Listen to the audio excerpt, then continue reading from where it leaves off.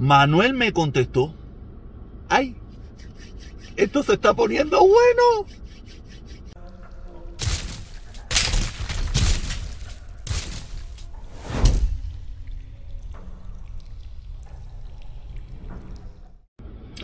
Mi gente, aquí de nuevo en el tráfico de Miami. Oye, lo bueno que tiene esto es lo bueno que se está poniendo. Oye, el tráfico de Miami, así mismo es. Eh, eh, la no, que era Tron, ¿de qué la era Tron se fue echando? La quitamos, se fue, no está, ya no dejo tus besos y la palabra partir ya se olvidó como si fuera esta canción.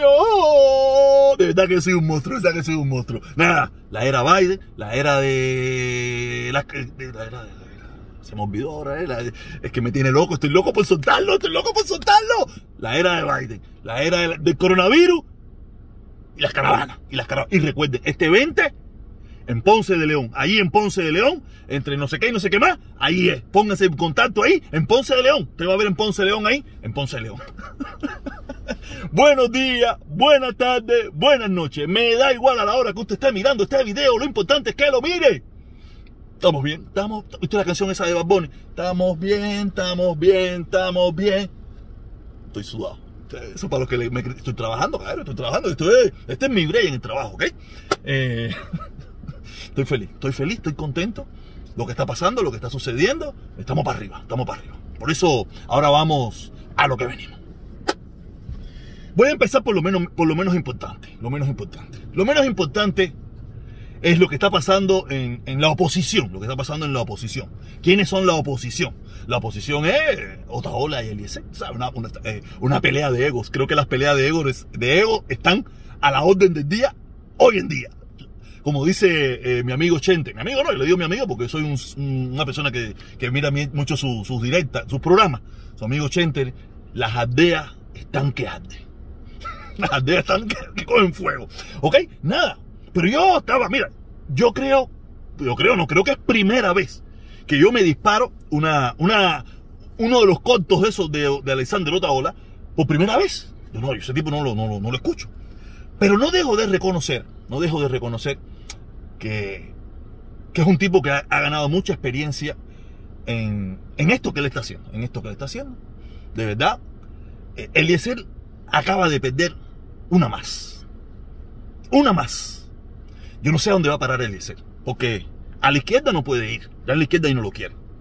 Yo no veo, yo no veo a Eliezer metido en las caravanas, eso no va a pasar, eso él no lo va a hacer. Él sabe que meterse en las caravanas es dentro de dos años ir a bancarrota y entregar todo lo, lo que ha adquirido. Pero en cambio, seguir viviendo del anticastrismo o de la libertad de Cuba lo va a obligar a arrodillarse. Lo va a obligar a arrodillarse. Eliezer, eh, Alexander Otaola ha hecho magistralmente, acaba de desmontar una vez más un grupo más, porque Eliezer, sabe que yo salto de una cosa para otra.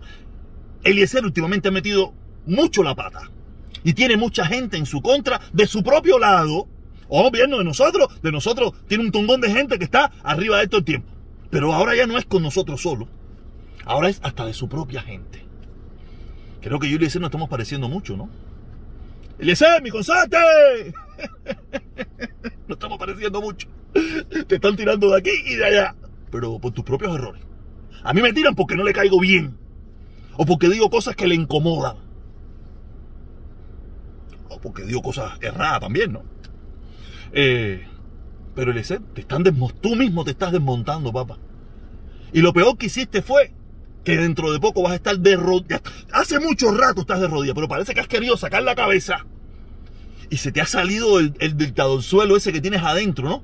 Ese dictador suelo que tienes adentro, que no admites la crítica, que no admites la burla, que no admites la risa, que no admites nada. Y tu propia gente te está cayendo a palo. Tu propia gente. Yo nunca he tenido gente, a mí me cae a palo todo el mundo, pero nunca han sido mi gente. Muchos de ellos.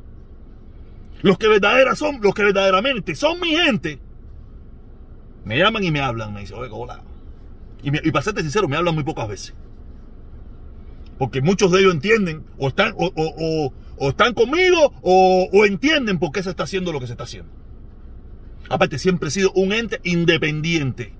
Ni soy de aquí, ni soy de allá, como la canción esa de un, cantante famoso esa. Yo no soy de ningún lugar, yo soy yo. Yo soy ola. Un ente libre. Hay dos o tres se me van a suscribir por eso. No importa, no importa. Ustedes tienen el derecho a hacer lo que les dé su reverendísima gana. Eh, Eliezer, estás en picada. Dímelo tú, tú que me estás escuchando. Tú, o sea, Eliezer no, Eliezer no me escucha. Sí, él me escucha, él me escucha. Lo único que él me ignora. Pero Eliezer estás en picada. Quiero hablar también de esto mismo de Eliezer. Varias gente me han escrito y me han dicho que estoy un poco loco, ¿no? Que, se me han ido los pines, que estoy ofendiendo, que estoy diciendo cosas que a lo mejor no debería decir. Y pudiera ser, pudiera ser estar en lo cierto. Pero yo le pregunto a toda esa gente, cuando a mí me van, me van al cuello. A mí nadie me va por la pantañuela. Nadie va por la pantañuela. Cuando me van, me van para el cuello. Entonces yo le voy para el cuello. Porque cuando el ESED en su plataforma, enorme en comparación con la mía, me la de comunista y de todas esas cosas que él dice, me está yendo el cuello. Entonces, ¿por qué yo tengo que tener compasión con él y su familia? ¿Por qué? Él no tiene compasión con la mía, él no le importa. Si cuando él me acusa de comunista, de todas esas barbaridades que él lo hizo conmigo, algún come mierda de eso que lo siguen a él, atormentado por la ingrata que se fue, con una raya de perico o con un poco de cerveza, me lo encuentro en algún lugar y me mete un palo en la cabeza. Y mi hija. Perdió su papá. Sé que pinga me importa la familia de él. Si que él le importa la mía. Estoy seguro que hay una pila de gente que le importa la mía, pero de ese bando a él no le importa la mía. Entonces no, no saquen la cara más por esa gente. Cuando otras personas por ahí ignoran, me están yendo al cuello también. Me quieren desplazar. Entonces, ¿por qué yo tengo, por yo no puedo ir al cuello de ellos también? Yo, yo le voy a, yo, no se metan conmigo. Yo nunca me metí con ninguna de esas personas hasta que no me fueron al cuello. Cuando me fueron al cuello, destrucción total. No sepa eso. Aparte, esas personas, Otaola, Eliezer, en este caso, ellos van para el cuello de la familia cubana. Ellos van a degollar la familia cubana. ¿Cuál es la compasión? ¿Cuál es el. ¿Cuál es la compasión? Yo soy bastante, yo soy, yo, yo regulo bastante mi discurso, pero cuando me van para el cuello, yo voy para el cuello también. Yo me mantengo callado, tranquilo, mi ambiente, mi jodedera, mi cosa, mi esto, lo otro. No voy a decir que a veces tengo mi deslío, yo soy un ser humano. Aunque usted no lo crea, yo soy un ser humano. Aunque usted no lo crea, yo soy un ser humano que me equivoco. Y puedo decir palabras exacerbadas y palabras un poco locas y tener faltas de ortografía también. No, tengo muchísimas faltas de ortografía. Y no sé leer, y un millón de mierdas, si yo soy el primero que lo digo. Ay, no. O sea, hay gente que.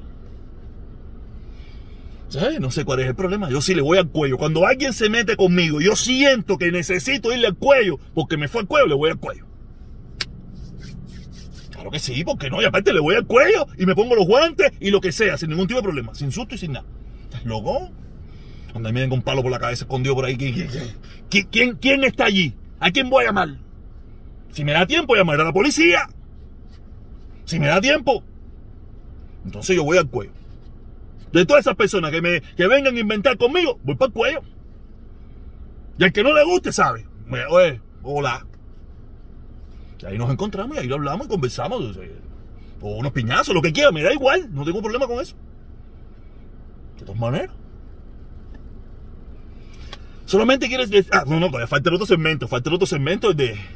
de, Manuel Tejeda ese. Manuel Tejeda. Ese, ese viene ahora. Ese viene ahora. Porque me contestó. Yo tengo que responder. Yo soy youtuber. Esa es la política de los youtubers. Donde ganamos dinero. Vamos a darle, vamos a darle promoción a su, a su periódico. Vamos a darle promoción, míralo aquí. Diario Latinoamericano. Vaya por allá para que lea los, escritos de. Y vea el escrito, este último escrito que me hizo. ¿Sabes? Soy un youtuber. Buscando plata. Que hace todas estas cosas para, para venga seguidores. Y que tiene faltas de ortografía y todas esas cosas. Pero él tiene un grupo, tiene un grupo que se llama Memo, Emo, no sé bien porque él me tiene bloqueado a mí allí. Él me tiene bloqueado. Él me tiene bloqueado a mí, no sé cómo se llama, tú sabes. el censurador soy yo. Lo sabes. Soy un youtuber. Oye, mi hermanito, si tú pensaste que yo te iba a decir algo feo, ¿no? ya, yo dije lo que pensaba. Y te lo dije porque tú, lo hiciste, no fue por mí. Yo no, yo no me metí contigo jamás.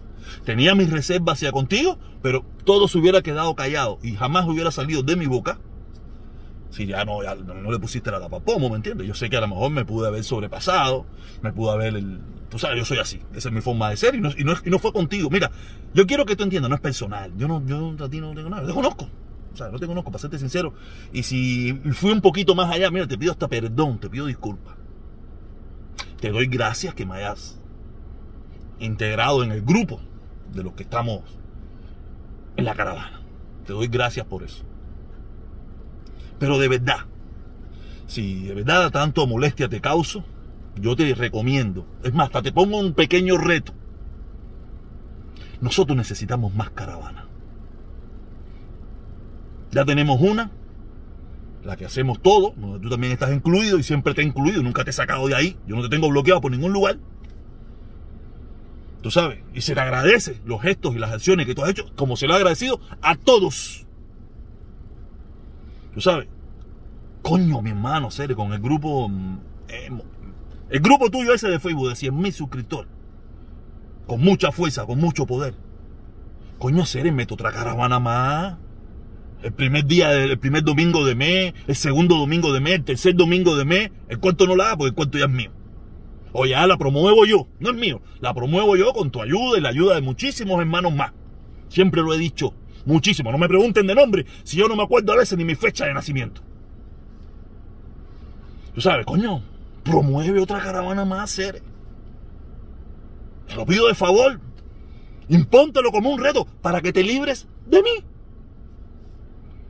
Porque yo soy un youtuber con muchas faltas de ortografía que usa todo esto para generar dinero. ¿Y qué más dijiste? Ah, una pelea más. Eh, pero nada, yo te doy gracias. Y te pido perdón si fui demasiado agresivo cuando me tiré para tu cuello. Te pido perdón. Tú sabes, ¿verdad? No, no, no soy así, eh, y menos con mi gente, ¿me entiendes? Dentro de, dentro, dentro de toda mi desaveniencia hacia contigo, te considero que eres parte de mi gente, o, parte, o yo soy parte de nuestra gente, ¿me entiendes? No es personal, te quiero que, quede claro, tú sabes, es parte de esta dinámica, como tú mismo lo dijiste. Pero no lo hagas más. Y ya te digo, promueve con tu grupo emo muy poderoso y muy grande de 100 mil suscriptores otra caravana. Necesitamos más caravanas. Esta batalla que tenemos en la lucha contra el embargo necesita más gente. Que yo estaré allí como uno más. De eso, ponle el coño.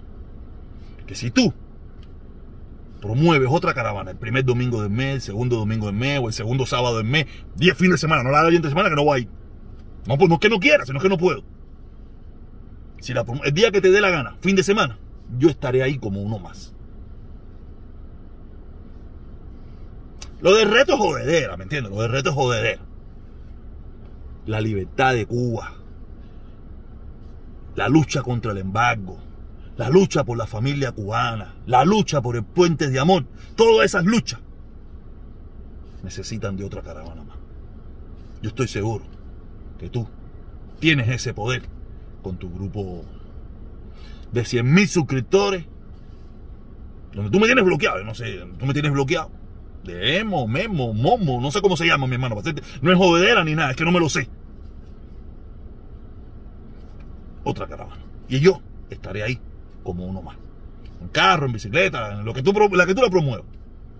Y sí te digo, te pido perdón, te pido disculpas si fui exageradamente en mi molestia.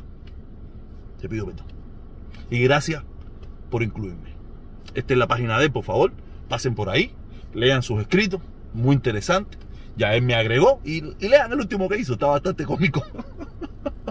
Oye, Tejea, lo siento, mi hermano, discúlpame, no fue la intención. yo soy así, lo siento. Espero que podamos seguir trabajando juntos, que no, que no, que no haya sido una molestia tan grave lo que yo te pude decir. Para mí no hay rencor, yo no, ah, lo que tú quieras, ¿me entiendes? Pero si no tienes rencor, yo te pido perdón. Si no eres rencoroso y nada, yo te pedí perdón y sin problema. Cuando te vea por ahí, te voy a dar la mano y te voy a decir lo mismo ahora mismo. Te pido disculpas, se me fue la mano, fue, fue descontrolado mi locura, pero así, así funciono yo. Así funciono yo. Si me vienes al cuello, voy para tu cuello. Basta ya de... Basta ya. Nos vemos, caballero. Hay un dicho que dice que reconocer es de sabio. A las dos y media nos vemos, caballero. Pasen, pasen por, la página del socio. A ver si se embulla y hace su propia caravana. Así me dejen pava la mierda. Usted no puede imaginarse cómo yo me divierto cuando yo tengo que hacer estos videos. Usted no puede imaginarse, me voy para caraval, me voy para caraval. Nos vemos a las dos y media. Las dos.